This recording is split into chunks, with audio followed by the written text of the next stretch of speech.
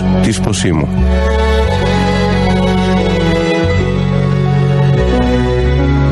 Μια εκπομπή με εκκλησιαστικές παρεμβάσεις του Πανοσυλλογιωτάτου Αρχιμανδρίτου Πατρός Ανανία Κουστένη.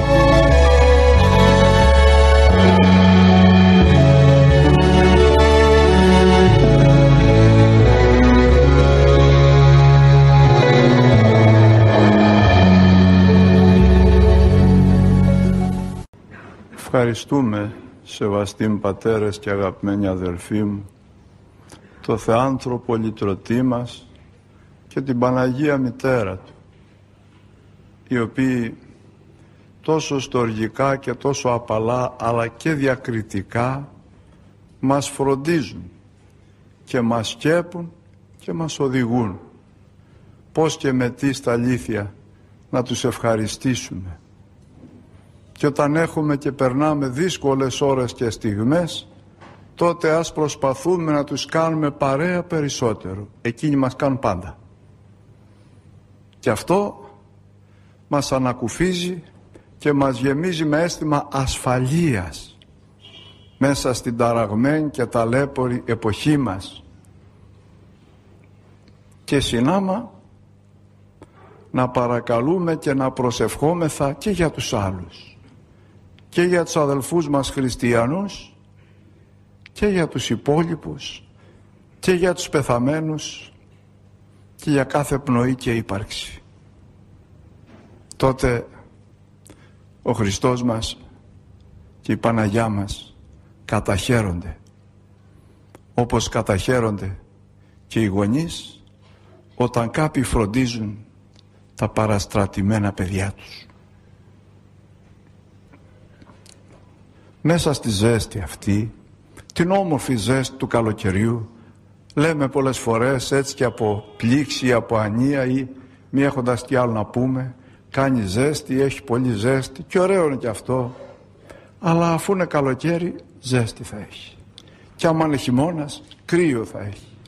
Άμα έχει και λίγο παραπάνω δεν πειράζει. Έχουμε και καλοριφέρ δωρεάν. Το χειμώνα το πληρώνουμε και ξέρετε πόσο ακριβά δεν παθαίνουμε τίποτα. Ε, φυλαγόμαστε λιγάκι σίγουρα, πίνουμε και κάνα νεράκι, τρώμε και ελαφρύτερα, ό,τι θέλουμε δηλαδή. Και έχει ο Θεούλης και φρούτα για το καλοκαίρι να δροσιζόμαστε, για κάθε εποχή έχει τα φρούτα. Και είναι πολύ ωραίο αυτό, θυμάμαι ο Γέροντας Πορφύριος που έλεγε να τρώτε φρούτα της εποχής. Αυτό είναι καλό και φυσικό και θεϊκό. Δηλαδή πόσο μας έχει φροντίσει και ξέρετε ακόμα πόσο χαίρεται όταν τα τρώμε. Γιατί έχει και αισθάνεται, ας το πούμε ανθρωποπαθός, τη μέγιστη χαρά της προσφοράς. Παράγει και προσφέρει ο Κύριος. Το βλέπουμε και εμείς.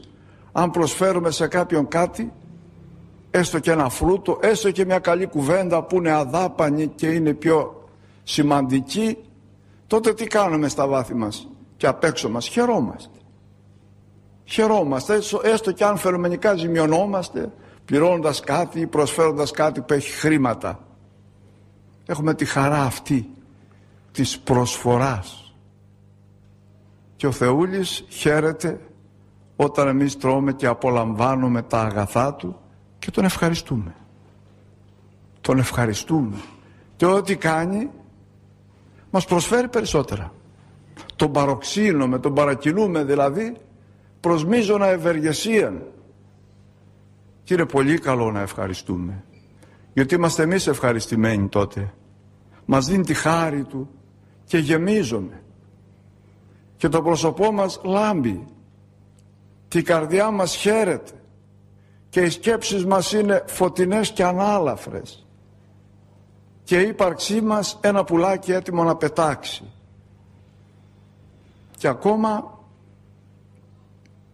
όταν ευχαριστούμε τους ευεργέτες μας τους ανθρώπους είναι μεγάλο καλό. Όταν ευχαριστούμε φίλους και εχθρούς είναι σημαντικό και συνάμα ωφέλιμο. Όλοι περιμένουμε όταν κάνουμε κάτι μικρό ή μεγάλο να μας πούν μια καλή κουβέντα. Να μας το αναγνωρίσουν. Να μας πούν ευχαριστώ. Να μας πούν έστω ότι τους άρεσε να μας πούν να είμαστε καλά απλά είναι αυτά. Αδάπανα είναι. Δεν πληρώνουμε ευρώ για αυτά. Αδάπανα είναι. Κι όμως προσφέρουν τόσο καλό και στους δύο συμβαλωμένους και στον ευεργέτη και στον ευεργετούμενο πολύ σημαντικό. Πολύ καλό. Γι' αυτό ας μην το αφήνουμε και ας μην το ξεχνάμε. Και επιπλέον όταν έχουμε δυσκολία στη ζωή μας είτε είμαστε μόνοι είτε με άλλους πάντα θα υπάρχουν προβλήματα. Και μαζί και μόνος ίδιος είναι ο πόνος λέει και ένα τραγουδάκι που ξέρετε. Τότε ας προσπαθούμε δεν είναι και εύκολο πράγμα. Ας προσπαθούμε να προσευχόμεθα. Βλέπουμε το Χριστό μας το Ευαγγέλιο να διανυκτερεύει στην προσευχή του Θεού να ανεβαίνει στο βουνό να είναι μόνος του και να προσεύχεται εκεί για όλη την πλάση για όλο τον κόσμο για όλους εμάς για όλη την οικουμένη. Και ξέρει εκείνος πόσο καλό προκύπτει από την προσευχή το ξέρει απόλυτα. Και μας συνιστά και μας προτρέπει να προσευχόμεθα κι εμείς. Να προσευχόμεθα κι εμείς. Εν παντή καιρό και τόπο. Να υψώνουμε οσίας χείρας προς τον δυνάμενον σώζην και να τον παρακαλούμε και να τον νικετεύουμε αλλά και να τον δοξολογούμε πρωτίστως. Και να τον ευχαριστούμε και να του εξομολογούμεθα. Εξομολόγηση σημαίνει δοξολογία. Με την εξομολόγηση και την εκείνη της προσευχής και εκείνη τη μυστηριακή βέβαια ο άνθρωπος γίνεται ανάλαφρος ελευθερώνεται από την αμαρτία ελευθερώνεται από το κακό ελευθερώνεται από τα δεσμά του αντιδίκου και τι κάνει μετά; Ανάλαφρος δοξολογεί. Ευχαριστεί. Προσεύχεται. Χαίρεται. Μας κυκλώνουν τόσα κακά νύχτα και μέρα μέσα μας, έξω μας και παντού. Είδα τι γίνεται τώρα με την τρομοκρατία. Ας τα αφήσουμε αυτά εμείς. Και ας προσευχόμεθα σε εκείνον που ενίκησε και το διάβολο και τον άδη και το θάνατο και την αμαρτία και το κακό. Είναι αίτητος, είναι παντοδύναμος, είναι πανθαύμαστος και συνάμα γεμάτος καλοσύνη, αγάπη και στοργή ανίποτη για όλους εμάς και περισσότερο για τους αμαρτωλούς και κρυματισμένους. Είναι μεγάλη χάρη Του. Είναι μεγάλη ευλογία Του. Και είναι ανίποτη η τρυφερότητά Του και το ενδιαφέρον Του. Θα ακούσουμε την Κυριακή στο Ευαγγέλιο. Τον Ιησού να περπατά στην παραλία της θάλασσας της Γαλιλαίας, της θάλασσας της Τιβεριάδος της λιμνοθάλασσας αυτής που γνωρίζουμε. Τώρα το καλοκαιράκι πάμε και στις παραλίες, κάνουμε και μπάνιο, δροσιζόμαστε, αλλάζουμε. Πολλές φορές μας θεραπεύει το μπάνιο στη θάλασσα από διάφορες αρρώστιες ή προλαμβάνει κάποιες άλλες. Ή μας συντηρεί τουλάχιστον σε μια κατάσταση ανεκτή. Και εκεί στις παραλίες σιγοδιαβαίνει και περνοδιαβαίνει και ο Ιησούς Χριστός ο πανταχού παρών και τα πάντα πληρώνει εκεί είναι ανάμεσά μας στο λαό του έστω και είμαστε ημίγυμνοι ο Κύριος άλλωστε μας βλέπει. Ό,τι και αν φοράμε όπως και αν καλυπτόμεθα γιατί μπροστά του όλα είναι γυμνά και τετραχυλισμένα όπως μας λέγει η Θεία Γραφή. Ας τον αισθανόμεθα και εκεί και στη θάλασσα και στο βουνό και στην εξοχή και στις θερμοπύλες εδώ των Αθηνών και όπου βρισκόμαστε ας το σκεπτόμεθα νοερά το Χριστό μας ας γλυκαίνεται η θύμησή μας με την πνευματική και αόρατη παρουσία Του, την υπαρκτή και αντικειμενική. Και ας Του λέμε τα δικά μας λογάκια, όπως και αν είμαστε, όπου και αν είμαστε, ακόμη και όταν πάμε προς νερού μας που έλεγαν οι παλαιοί. Ας Του λέμε τα δικά μας λογάκια. Ας Του βγάνουμε της ψυχής μας την αγάπη και τη στοργή και τη λατρεία. Ξέρετε πόση ανάγκη έχουμε να αγαπήσουμε, να λατρέψουμε, να δοθούμε και να παραδοθούμε κάπου, σε κάτι, σε κάποιον, στον Κύριο. Το έχουμε μεγάλη ανάγκη, βαθύτατη ψυχική ανάγκη, γιατί είμαστε φτιαγμένοι να δοθούμε. Μας έφτιαξε ο Κύριος για εκείνον και είναι ανήσυχη η ψυχή μας όπως λένε οι πατέρες μέχρι ότου αναπαυθεί σε εκείνον. Ας του μιλάμε του Χριστού, ας μιλάμε στην Παναγιά, ας μιλάμε στους Αγίους, Ας μιλάμε στους αγγέλους. Ας μιλάμε στα πνεύματα και στις ψυχές των δικαίων και των αποθαμένων. Ας μιλάμε και με τα λουλούδια, ας μιλάμε και με τα φυτά, ας μιλάμε και με τα πουλιά. Ας μιλάμε και με τα δέντρα, ας μιλάμε και με τα βουνά. Ας μιλάμε και με τη θάλασσα που συμβολίζει την αγκάλη του Χριστού, την έσπλαχνη. Είναι και σύμβολο της αμαρτίας κατά τους θεολόγους αλλά και σύμβολο της αγάπης και εσπλαχνίας του Χριστού στον κόσμο και στην οικουμένη αλλά και στον καθένα μας. Γι' αυτό και καλύπτει τα τρία τέταρτα της επιφανείας της γης και η ξηρά είναι στην αγκαλιά της θάλασσας. Γι' αυτό μιλάμε και για κόλπους και για τόνα και για τ' άλλο. Κόλπους είναι η αγκάλια στην αγκαλιά της θάλασσας. Της θάλασσας. Και λέει κάπου στα ρόδινα ακρογιάλια τα οποία συμβολικά μας φέρουν στα ρόδινα ακρογιάλια της Θείας Βασιλείας. Μιλάει στα ρόδινα ακρογιάλια ο κύρα Αλέξανδρος και λέγει ότι όταν έχει της πληγήν βαθίαν στην θάλασσα πρέπει να μεταβαίνει και εις αυτήν να λέει τον καημό του και η απεραντοσύνη της του δείχνει και του δίνει το μέγεθος όσο είναι δυνατόν της θεϊκής αγάπης και αγκάλης. Γι' αυτό και έχουμε και τόσα τραγούδια για τη θάλασσα. Και τώρα μάλιστα το καλοκαιράκι που τα ακούμε είναι τόσο δροσερά. Γι' αυτό και στην εκπομπή της Δευτέρας 10 με 12 προσπαθούμε να βάλουμε στην αφεντιά σας τραγουδάκια απαλά, θαλασσινά, αέρινα, καλοκαιρινά, με άβρα ζεφυρίτιδα που θα έλεγε ο κ. Αλέξανδρος Παπαδιαμάντης για να μας ξεκουράζουν, να μας παίρνουν στα φτερά τους και να παίρνουν με τα φτερά τους τον πόνο, τη θλίψη, τη δυσκολία μας, τη ζέστη και ό,τι άλλο κακό και ό,τι άλλο μας δυσκολεύει. Και εκεί στη θάλασσα που πήγε ο Ιησούς μας ανάμωσε τους δύο πρώτους μαθητάς του τους οποίους είχε προετοιμάσει είχε καλέσει και από πριν για λίγο καιρό κοντά του αλλά ως ότου εκήρυτε ο Άγιος Ιωάννης ο πρόδρομος τους άφησε και τους ξανά στείλε στα έργα τους στο έργο της αλληλείας ψαριών.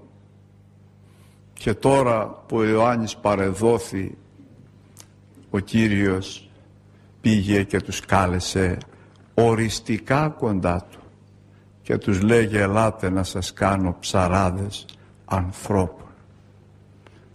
Η δουλειά του ψαρά είναι ό,τι πιο δύσκολο θέλει υπομονή, θέλει μεράκι, θέλει αγάπη, θέλει τέχνη,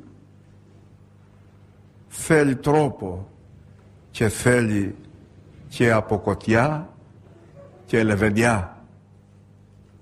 Γι' αυτό και ο Κύριος διάλεξε για ψαράδες ανθρώπων τους ψαράδες της Γαλιλαίας. Και εκείνοι τον ακολούθησαν. Τα άφησαν όλα. Και τι είχαν. Τα πλοία και τα δίκτυα τους. Όλη τους η περιουσία.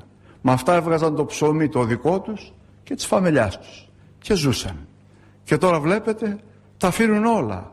Δεν τα παρέδωσαν σε κάποιον. Τα άφησαν εκεί. Και ποιος ξέρει τι έγιναν. Όταν μας καλεί ο Κύριος μας συνεπέρνει αυτή η κλίση, αυτή η αγάπη, αυτός ο τρόπος, αυτή η έλξη, αυτή η δύναμή του. και τα αφήνω όλα. Τα άφηναν όλα και μερικός βέβαια, για λίγο δηλαδή, και οι όχλοι της Γαλιλαίας και της Ιουδαίας, κυρίως της Γαλιλαίας και τον ακολουθούσαν στα βουνά, στις ερημιές, στα ακρογιάλια, στα σπίτια, στις πόλεις και στις κόμες, όπου επήγαινε και βρίσκεται ο Ιησούς. Τους ήλκε τόσο πολύ η θεανδρική του προσωπικό της, που τα άφηναν όλα. Τα ξέχναγαν όλα μα όλα.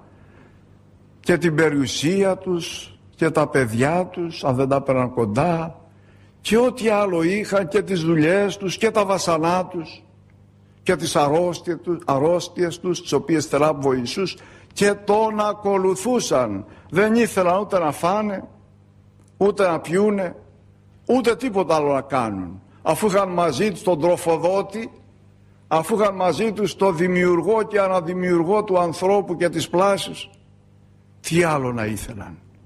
Πραγματικά, σεβαστοί πατέρες και αγαπημένοι αδελφοί μου, το ενδιαφέρον της καρδιάς μας επικεντρώνεται και πρέπει να επικεντρώνεται στο πρόσωπο του Θεανθρώπου Λυτρωτού.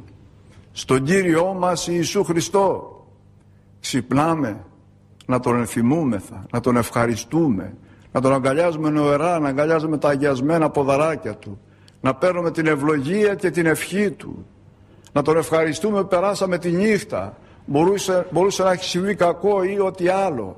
Και αν συμβεί κακό πάλι για καλό μας είναι να τον αγαπάμε.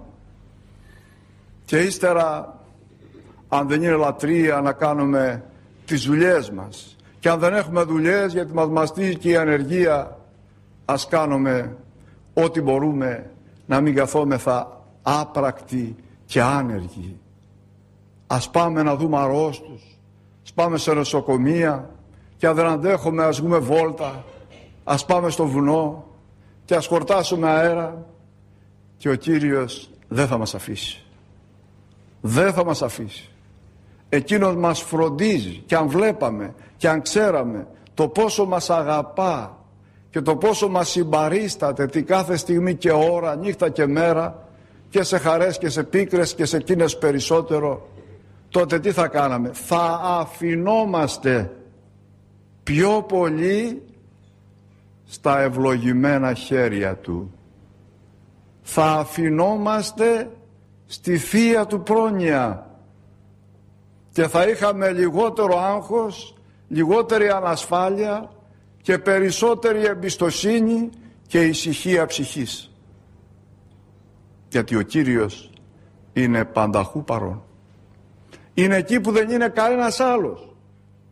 Και είναι η βοήθεια των αβοηθήτων και η ελπίς των απιλπισμένων όπως λέγει μεταξύ των άλλων η Θεία Λειτουργία του Μεγάλου και Αγίου Βασιλείου που είναι ένα λυρικό ποτάμι αυτή η Θεία Λειτουργία και αγκαλιάζει τους πάντες και τα πάντα.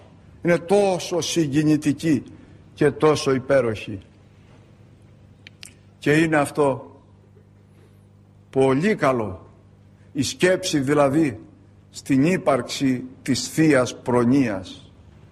Στη φροντίδα την άφατη του Ιησού Χριστού μας σε όλους εμάς και στους πάντας και στους κεκοιμημένους και στους αποθαμένους μας εξυκνείται η βοήθεια και η χάρις και η στοργή και η πρόνοιά Του.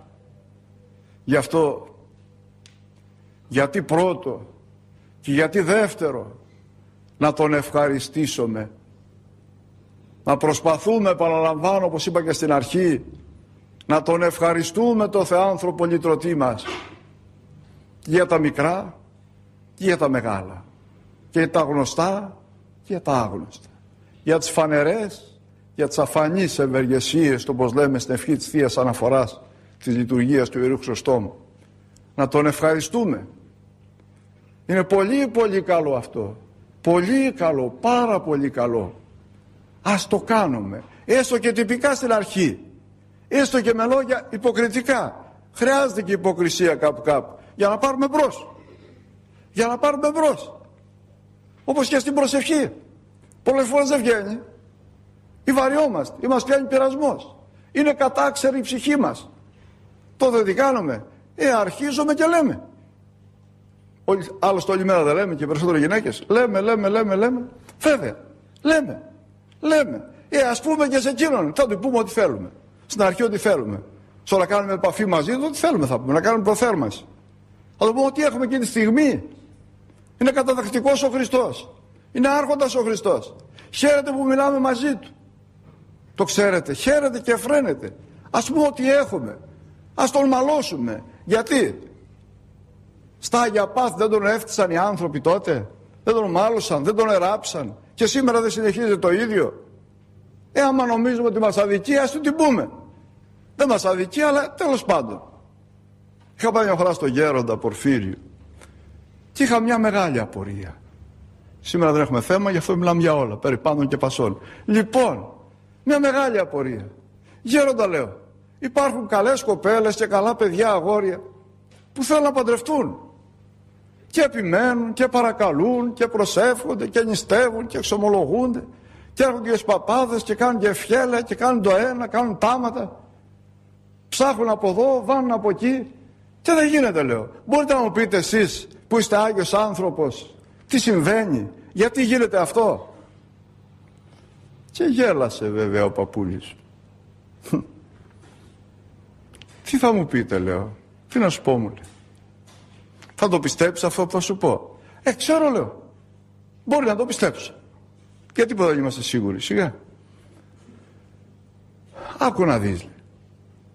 Αυτοί οι άνθρωποι, αυτές οι ψυχές, αυτοί οι νέοι, άνδρες και γυναίκες, προσεύχονται και παρακαλούν και κάνουν αυτά που είπατε εσείς προηγουμένως που μου είπατε, μου είπε και άλλα ακόμα. Και όμως ο Θεός δεν τους δίνει. Γιατί λέω δεν δίνει. Δεν έχει, δεν μπορεί, δεν θέλει, δεν αγαπά. Αυτό στο Σταυρό ανέβηκε για τις αμαρτίες μας και ανέστη για την δικαίωση ημών. Δεν την ξέρετε μου λέει πάτερ μου την ανθρώπινη ψυχή.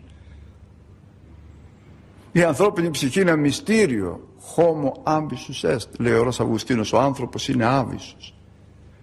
Βρέ μου λέει, αυτοί στην επιφάνεια της ψυχής τους αισθάνονται και νομίζουν πως θέλουν να παντρευτούν. Και θέλουν. Όμως το βάθος τους αυτό για το οποίο παρακαλούν δεν το θέλουν. Δεν το θέλουν. Και αν δεν το θέλουν δεν μπορώ εγώ να σου πω ούτε κανένας. Είναι μυστήριο. Μόνο Θεός το ξέρει. Ο ξέρει τα βάθη του ανθρώπου, τα οποία ουδής είδε. Ημί το πνεύμα του Θεού το ένα αυτό που λέει ο Μέγας Απόστολος Παύλος. Και ενώ λέει επιφάνεια παρακαλεί, το βάθος κατά ένα παράδοξο τρόπο καθηκετεύει να μην γίνει αυτό που παρακαλεί. Και δεν γίνεται.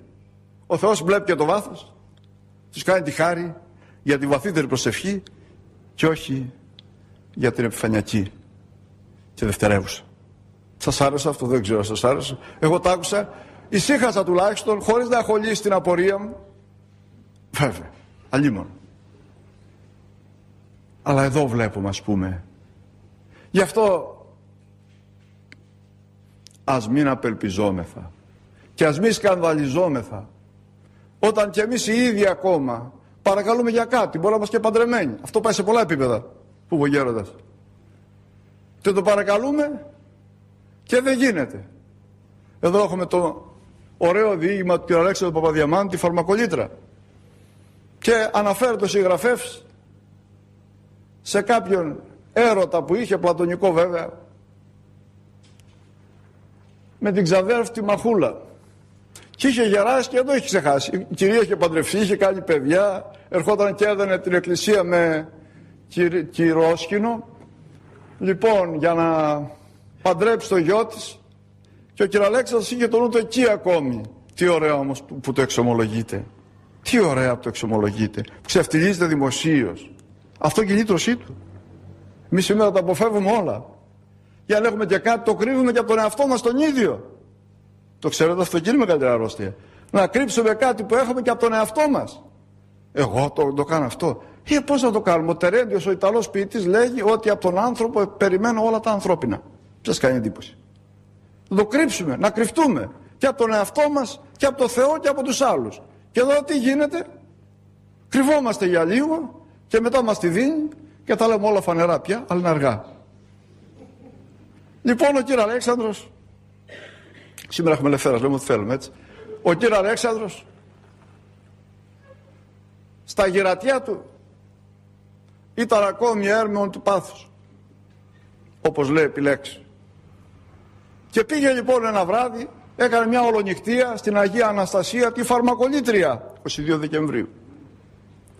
Και την παρακαλούσε να τον ελευθερώσει από τον βάσανό του. Και τελείωσε, ήρθε η αυγή, χάραξε η μέρα, φώτισε ο Θεός την ημέρα και εκείνος βγαίνοντας από τον ναό αισθάνθηκε ότι δεν είχε απαλλαγή. Και λέγει επιλέξει αισθάνθην αγρίαν χαράν διότι η Αγία δεν εισήκουσε την δέησή μου. Μετά μου λέτε κοιμάται ο δέσποτας. Μετά μου λέτε Ωραία να αποκοιμιόμεθα έτσι. Μετά μου λέτε, δεν είναι άβυσος η ψυχή του ανθρώπου. Δεν είναι μυστήριο άνθρωπος. Και λέμε, εγώ αυτό το ξέρω καλά, τα ξεράδια μας τίποτα δεν ξέρουμε. Εκείνος μας ξέρει καλά από μέσα και απ' έξω ο Χριστός μας. Και γι' αυτό να αφινόμεθα σε Αυτόν. Να εμπιστευόμεθα αυτούς και αλλήλους και πάσαν τη ζωή νημό Χριστό το Θεό. Έχει μεγάλη σημασία αυτό. Αφινόμαστε στη χάρη του. Γιατί ο άνθρωπος είναι μυστήριο και δεν ξέρουμε τελικά εμείς τι μας χρειάζεται, τι δεν μας χρειάζεται, τι είναι καλό και συμφέρον στην ψυχή μας, τι θέλουμε και τι δεν θέλουμε. Δεν ξέρουμε. Νομίζουμε ότι ξέρουμε, αλλά δεν ξέρουμε τελικά. Γι' αυτό και αφινόμαστε στον Κύριο. Εδώ μας δίνει και υπέροχο παράδειγμα ο Θεάνθρωπος λυτρωτής. Όταν ο άνθρωπος ελίγησε για λίγο μπροστά στο ποτήριο του θανάτου μπροστά στον επικείμενο σταυρό το σταυρικό του θάνατο. Και άρχισε να λέει διάφορα. Να παρέλθει το ποτήριο να μην το πιει και το ένα και το άλλο. Τι ωραίο που είναι αυτό και τι παραγωγικό. Και να είναι η ψυχή του περίληπος έως θανάτου να η μελαγχολία και όταν μας έρθει μελαγχολία ή αθυμία που λέει παράκληση κλπ να τρέχουμε στη Γευσημανή στο ελαιοτριβείο στις παρυφές του όρους των λεών και εκεί τι να λέμε στον Κύριο τη μελαγχολία μας, τη δυσκολία μας, το βασανό μας, το παράπονό μας, τα πάντα μας. Και ο Κύριος λοιπόν είπε αυτό που είχε. Είπε αυτό που ήθελε τη στιγμή εκείνη παρότι ήλθε να πάθει εις κόσμου λύτρων για να λυτρωθεί ο κόσμος. Και όμως το είπε στον πατέρα του. Και όχι μόνο το είπε, είχε και αγωνία, μεγάλη αγωνία. Και όσο είχε μεγάλη αγωνία εκτενέστερον προσήφιετο προσήφιετο με μεγαλύτερη ένταση και με μεγαλύτερη έτσι διάθεση ψυχική και με μεγαλύτερη αγωνία. Το είπε αλλά στο τέλος είπε το καλύτερο. Ποιην ούχος εγώ θέλω άλλος ή πάτερ αλλά όμως ας γίνει όχι όπως θέλω εγώ αλλά όπως θέλεις εσύ και στη συνέχεια από αυτό που λέμε στο Πατέρ ημών γεννηθεί το, το θέλημά σου. Έτσι.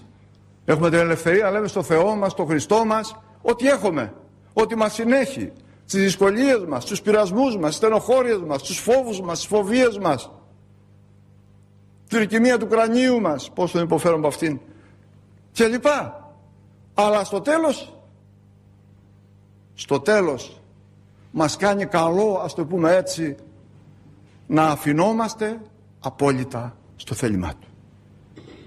Εγώ θέλω εκείνο το άλλο το άλλο. Ας τα λέμε στον Κύριο. Και μάλιστα μετά ευχαριστίας λέει ο Απόστολος Παύλος. Ευχαριστώντας τον να το αναθέτουμε και να του λέμε να το αναφέρουμε όπως λέει η Γραφή τα αιτήματά μας. Κάνοντας το αυτό με ευχαριστία έχουμε πια εμπιστοσύνη τα αφήνουμε όλα στα χέρια του όλα στα πόδια του όλα μπροστά του όλα στην αγάπη την ανίποτη. Και εμείς είμαστε ήσυχοι αφού αυτό μέλει περί ημών πως δεν στη Θεία Γραφή ο Μέγας Παύλος και στην Παλαιά Διαθήκη ο Μωυσής. Δηλαδή αυτόν τον μέλει για μας. Και αφού τον μέλει αυτόν τον θεάνθρωπο τι μας μέλει εμάς τότε; Τι σε μέλει; Εσένα ναι από που είμαι εγώ που λέει και ο τραγουδάκι και είχε κάποτε ο Κέσαρ ένα ελάφι.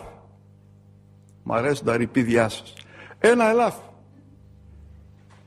Και είχε γράψει πάνω μη με πειράζετε, είμαι του Κέσαρος. Μη με πειράζετε, είμαι του Κέσαρος. Ο άνθρωπος θέλει να ανήκει κάπου πάντοτε. Και όταν ανήκει στο Χριστό είναι πυργυπόπουλο, είναι πανευτυχής. Νιώθει υπέροχα. Έτσι κι εμείς. Έχοντας τον Τίμιο Σταυρό και την ομολογία, μέσα στην ψυχή μας και πάνω στο είναι μας, ας λέμε στον εχθρό και στους όποιους άλλους μη μας πειράζετε, είμαστε όχι του Κέσαρος πια, αλλά του Χριστού, του Βασιλέως των ουρανών, του Βασιλέως του κόσμου. Να κάνουμε λοιπόν αυτή την προσευχή. Και να δείχνουμε και να έχουμε αυτή την εμπιστοσύνη στον Κύριο. Ό,τι και αν γίνεται και τώρα να η πατρίδα μας βρίσκεται φαίνεται σε δυσκολία. Είμαστε μπλεγμένοι εγώ δεν ξέρω ο Θεούλης ξέρει η Παναγιά ξέρει. Ας αφινόμαστε στα χέρια τους ό,τι και αν γίνεται. Και ας τους παρακαλούμε να μας προστατεύουν να μας σκεπάζουν να μας φυλάνε από τους ορατούς και αόρατους εχθρούς και από τα όργανα τους και από κάθε παγίδα διότι ο Χριστός και η Παναγιά έχουν τη δύναμη έχουν τη δύναμη να καταστρέψουν και να εξαρθρώσουν όλες τις παγίδες του διαβόλου. Στα Βυζαντινά χρόνια ήταν ένας άρχοντας, έμενε στην επαρχία, ο οποίος είχε μεγάλη αγάπη και ιδιαίτερη ευλάβεια στην Παναγία μας. Τη λάτρευμα το Θεό, τιμητικός βέβαια. Λοιπόν, και ό,τι είχε και ό,τι έκανε το ανέθε σε εκείνη και της έλεγε κάθε μέρα την πάσαν ελπίδα μου είσαι ανατίθιμη μήτερ του Θεού φύλαξόν με υπό την σκέπη σου όπως και εμείς πριν λίγο ωραιότατα και εγκαρδιότατα εψάλαμε κάποτε λοιπόν είχε μια υπόθεση για τη βασιλεύουσα για την πρωτεύουσα της αυτοκρατορίας την Κωνσταντινούπολη η γυναίκα και η κόρη του του είπαν αφέντη τώρα που φεύγεις Πού θα μας αφήσεις; Επαρχίαν εδώ, κίνδυνοι υπάρχουν, επιδρομές, βάρβαροι και τόνα και τ' άλλο. Και εκείνος τους λέγει, στην κυρά μας την Παναγιά και πουθενά αλλού, να μην φοβάστε. Έφυγε εκείνος, άφησε τη γυναίκα και την κόρη, είχε και υπηρέτη στο σπίτι. Μια μέρα λοιπόν ένας υπηρέτης πειράχθηκε από τον αρχέκακο και του βάλε αυτό στο νου να σκοτώσει τις δύο γυναίκες να πάρει όλα τα χρυσαφικά και τα δημαλφή και να φύγει ευκαιρία ήταν μπαίνει μέσα στο σπίτι αφού του ήρθε να το κάνει αμέσως αμέπως αμέργων που θα λέει και ο Όμηρος σοφός. Πάει στην κουζίνα παίρνει το μαχαίρι.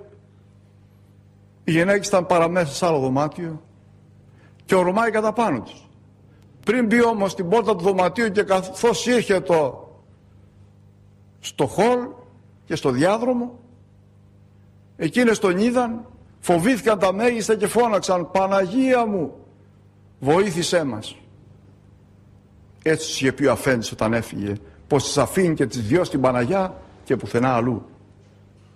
Και τότε εκεί στο διάδρομο και πριν μπει στην πόρτα του δωματίου που έμεναν οι γυναίκες ακινητοποιήθηκε παραχρήμα αμέσως. Ο ταλέπορος εκείνος δούλος που έγινε ακριβώς όργανο του διαβόλου ο οποίος ασφαλώς είχε ακούσει τον αφέντη να λέει στις γυναίκες ότι τις αφήνει στην Παναγιά στη χάρη και προστασία της. Και ήθελε λοιπόν τώρα να το παίξει παλικαράς και να νικήσει την Παναγιά και να αλλάξει την πίστη του μεγάλου αυτού αφέντη και άρχοντα. Έμεινε λοιπόν ακίνητος ούτε μπρος ούτε πίσω και βουβός. Και τον έπιασε. Φοβερή αντίδραση και τότε πάνω στην απόγνωση του και στην αδυναμία του να κάνει κάτι απέναντι σε αυτές τις φαινομενικά απροστάτευτες γυναίκες, τις μόνες γυναίκες, τι κάνει; Βάζει το μαχαίρι στο στήθος του και αυτοκτονεί. Ποια η Παναγιά το βλέπετε. Ποια είναι η δυναμίτσια απροσμάχητος το καταλαβαίνετε. Εκείνη υπέρμαχος στρατηγός. Εκείνη είναι τα Θεόν Θεός. Εκείνη είναι η φοβερά προστασία. Προετών ήταν εδώ στην Αθήνα, την ταλέπορη Αθήνα, αλλά και την όμορφη Αθήνα που έχει μυστικές ομορφιές και ας ψάχνουμε να τις βρούμε. Μια νεαρά, η οποία είχε περιέλθει σε δύσκολη θέση. Είχε μπλέξει με πολλά και διάφορα και είχε φτάσει σε απόγνωση και απελπισιά μεγάλη. Ήταν εκεί στο διαμερίσματάκι της, σε κάποιο όροφο πολύ ψηλά και πάνω στην απόγνωση ήρθε στο νου της μια ιδέα, μια φοβερή ιδέα να πέσει από τον όροφο και να δώσει τέλος στην ταλέπορη ζωή της. Δεν δίνει κανείς τέλος και από εκεί πέρα αρχίζουν τα υπόλοιπα. Το ξέρετε αυτό. Γι' αυτό και η Εκκλησία μας συνιστά όχι. Και την τελευταία στιγμή της ήρθε άλλη σκέψη. Ο Θεός κυβερνάει και η Παναγιά και το καλό στον κόσμο, το ξέρετε. Αλλά αυτό δεν φαίνεται. Ταπεινό. Πως ο Ιησούς είναι άκρα ταπείνος, μας διακονεί. Μας διακόνησε, μας διακονεί και θα μας διακονεί μέχρι τη συντέλεια αλλά και στους αιώνας των αιώνων στη Θεία Βασιλεία. Της ήρθε λοιπόν μια ιδέα. Είχε μια εικόνα της Παναγιάς εκεί και να έχουμε εικόνες. Είχε στο κρεβάτι στην άκρη. Τη βουτάει, την αγκαλιάζει και μόλις τη φωνή και την ψυχή λέγει «Παναγία μου βοήθησέ με» και πέφτει απελπισμένη πάνω στο κρεβάτι και αποκοιμήθηκε. Και η Παναγία έκανε τη δουλειά της. Σπήρε τον πόνο, σπήρε την απελπισία, σπήρε τις πληγές και τα βάσανα και ύστερα που ξύμνησε, εξύπνησε και εξύμνησε την Παναγιά πια. Ήταν ευχαριστημένη, ήταν σωσμένη.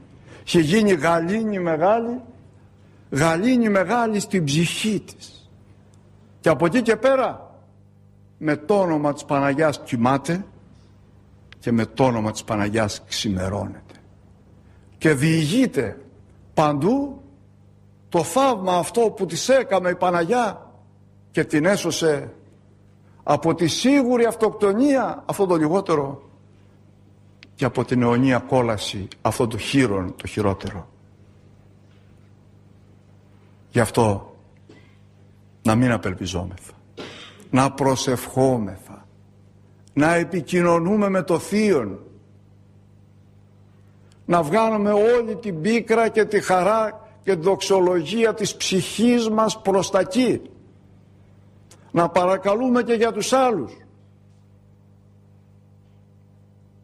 Και αυτό μας κάνει και ζούμε. Αισθανόμεθα χρήσιμοι. Είμαι θα δημιουργικοί. Και ας νομίζουμε πως είμαστε άχρηστοι πως δεν αξίζουμε τίποτα. Αυτό μας βάνει ο διάβολος. Ή ότι είμαστε περίφημοι το ένα άκρο ή ότι είμαστε για πέταμα. Να δω τα άκρα τα άκρα είναι των δαιμόνων. Υπάρχουν μερικοί συνανθρωποί μας, ίσως και εγώ που μιλά, νομίζουν πως είμαστε περίφημοι, πως είμαστε μοναδικοί, πως είμαστε σπουδαίοι, που άλλοι δεν είναι σαν εμάς, που όλο για μας μιλάμε, όλο για μας θέλουν να λένε οι άλλοι και θέλουμε να είμαστε το κέντρο του κόσμου και των πάντων. Αυτό είναι εγωισμός. Είναι κατάσταση η οποία δεν μας γεμίζει στην ουσία, μας αδειάζει. Μας αδειάζει. Και μας λέει ο δαίμονας ότι είμαστε λιοντάρια, ότι είμαστε ήρωες, ότι είμαστε αχτύπητοι, ότι είμαστε σπουδαίοι. Πατάμε τους άλλους κάτω όλους. Και πιστεύουμε ότι εμείς εδώ είμαστε και κανείς δεν είναι. Έτσι όμως και το άλλο άκρο. Μας λέει ο διάβολος, μας φέρει στο αντίποδα, το εγωισμό, μας φέρει στην απόγνωση, στην απελπισία. Και σπήρεται η απελπισία. Βλέπετε από τα μέσα ενημερώσεως ελάχιστες είναι καλές ειδήσεις. Άλλα είναι όλα για να φουντάρουμε. Βέβαια. Και μας φέρνει ο διάβολος σκέψεις και αισθήματα αρνητικά. Δεν αξίζουμε, δεν είμαστε τίποτα, δεν μας χρειάζεται κανείς, δεν μας αγαπά κανείς, δεν μας φέρει κανείς. Και όλα αυτά είναι περισσότερα στη φαντασία μας. Στη φαντασία μας, γιατί στο κάτω-κάτω αδερφέ και κανείς δεν σε θέλει, φτάνει σε θέλει ο Χριστός. Φτάνει σε θέλει η Παναγιά. Φτάνει που έχεις φύλακα άγγελο. Φτάνει που έχουμε τόσους Αγίους. Φτάνει το ότι έχεις το αθάνατο κτήμα που είναι η ψυχή σου. Που είναι αιωνία και δεν ισοφαρίζει με όλα τα αγαθά του σύμπαντος κόσμου. Τα υλικά αγαθά και μέσα. Βεβαίως. Αλλά έρχεται και ο διάβολος και μας βάζει στο άλλο άκρο και μας παιδεύει. Και έτσι το ενώσουμε τα δύο άκρα στην κοινωνία, ε, τον άκρο εγωισμό με την άκρα ευτέληση και κατεξευτέληση του εαυτού μας, τι φτιάνουμε, το μηδέν. Το μηδέν. Ενώ ο άνθρωπος ίσταται στο μέσο. Και έχει και αισθάνεται και προσπαθεί να έχει τη χάρη του Χριστού η οποία τον ισορροπεί η οποία ζυγοστατεί τα άκρα και το ένα άκρο πάμε και το άλλο και το δεξιό και το αριστερό άκρο. Ζυγοστατεί τα άκρα. Και έχουμε ισορροπή. Ισορροπή από τα άκρα ισορροπώ. Ισορροπή. Και άγομεν και βαδίζομεν την μέση και βασιλική οδόν. Η οποία κοίται όπως θα λέει και ο Μέγας Αριστοτέλης μεταξύ υπερβολής και λήψεως. Να θυμηθούμε και την αρχαία φιλοσοφία που μας έφερε στον Χριστό αυτή η φιλοσοφία. Σήμερα πολλοί που θέλουν να το παίξουν δωδεκαδεϊστές δεν ξέρουν από τα αρχαία ούτε, ούτε πάντα τέσσερα. Οι κακόμεροι ούτε ούτε πάντα τέσσερα δεν ξέρουν. Είτε είναι μόδα αυτό το πράγμα, είτε είναι αντίδραση προς την Ορθοδοξία, είτε τώρα είναι άλλο. Δεν ξέρουν ούτε πάντα τέσσερα. Και αυτό το χειρότερο. Τώρα όμως πρέπει να σταματήσουμε εδώ, αρκετά σας είπα. Σας ευχαριστώ που με ακούσατε. Αν ελέγχθηκε κάτι που δεν ήταν καλό να με συγχωρείτε, αυτό είναι δικό μου. Και αν ελέγχθηκε κάτι που ήταν καλό αυτό του Θεού, τον ευχαριστούμε και να το καρποφορούμε. Ε, τώρα σιγά σιγά θα κάνουμε ακόμη δύο-τρεις φορές και μετά θα σταματήσουμε. Όσοι φύγουν από τώρα για διακοπές, ευχόμεθα καλές διακοπές, καλά να περάσουν το αγέρι του Χριστού και της Παναγίας να είναι κοντά τους και κοντά με όλους μας, ξεκουραστείτε και να παρακάμψουμε. Ευχαριστώ ολόψυχα τους πατέρες, το Ίδρυμα, το σταθμό της Εκκλησίας μας, τους ακροατάς αυτού, τους εγγύς και τους μακράν, προπαντός, προπαντός όλους εσάς, μέσα στη ζέστη και νηστικοί και κουρασμένοι ήρθατε και κάναμε την παράκληση στην Παναγίτσα μας και να μας φυλάει την πατρίδα μας και όλο τον κόσμο και το ταπεινό αυτό κήρυγμα χωρίς τίτλο και χωρίς θέμα και είπαμε για όλα τα θέματα. Χίλιες και θερμές ευχαριστίες. Ας ψάλουμε τον εθνικό ύμνο της Εκκλησίας μας και να φύγουμε. Τι περμάχο στρατηγότα νικητήρια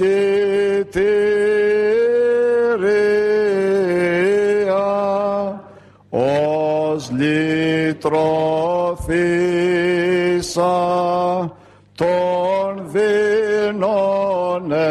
ευχαριστήρια.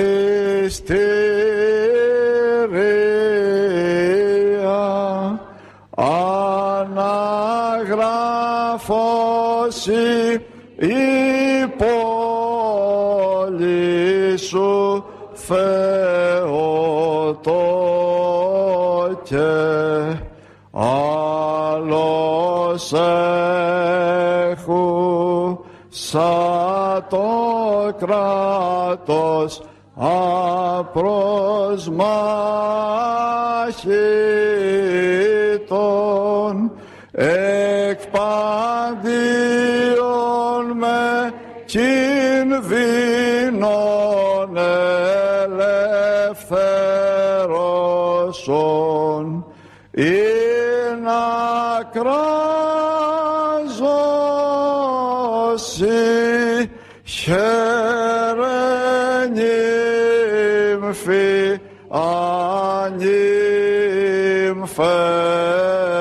ανύμφευτε και πάλι σας ευχαριστώ χίλιες φορές. Η Παναγία βοήθεια. Καλή σας νύχτα και καλή αντάμωση.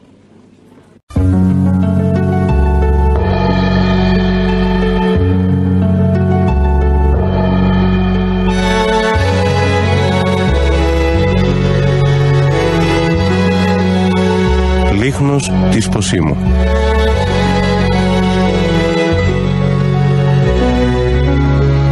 εκπομπή με εκκλησιαστικές παρεμβάσεις του Πανοσιολογιωτάτου Αρχιμανδρίτου Πατρός Ανανία Κουσθένη.